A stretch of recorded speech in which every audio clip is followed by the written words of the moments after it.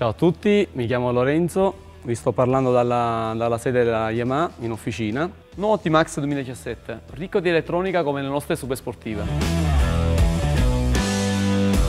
Gas elettronico. Grazie a questo controllo la valvola farfalla ha sempre la giusta apertura. Il controllo elettronico del gas permette anche di utilizzare un controllo di trazione elettronico molto sofisticato, molto simile alle MotoGP. Quando c'è un eccesso di coppia, il software per ripristinare il grip non fa altro che ridurre l'angolo farfalla e quindi non fa altro che decelerare a posto del pilota. Il T-Max è fatto anche per l'autostrada. L'ausilio del gas elettronico permette anche di adottare il cruise control, una funzione molto comoda che permette di impostare e memorizzare la velocità di crociera e con uno switch posto sul comando sinistro anche di fare una regolazione fine della velocità. La nuova Smart Key del T-Max 2017 come prima gestisce l'apertura della sella il comando del quadro e il blocco bloccastrezzo elettronico. Stavolta gestisce anche il blocco cavalletto elettroattuato che come il blocco bloccastrezzo elettroattuato è un ulteriore deterrente a furto.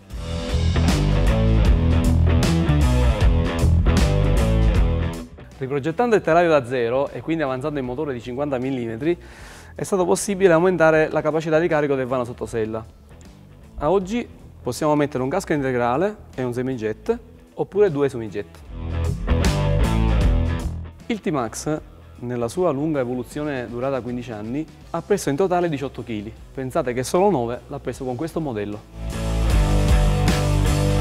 Il nuovo T-Max viene proposto in tre versioni. La versione standard, la versione SX più sportiva e la versione DX più lussuosa.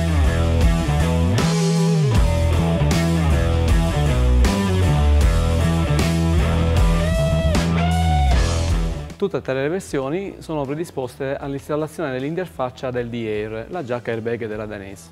La versione SX, quella più sportiva, ha un allestimento grafico dedicato e in più è dotata del controllo delle mappature motore, quello che fanno cambiare carattere da sportivo a più turistico. La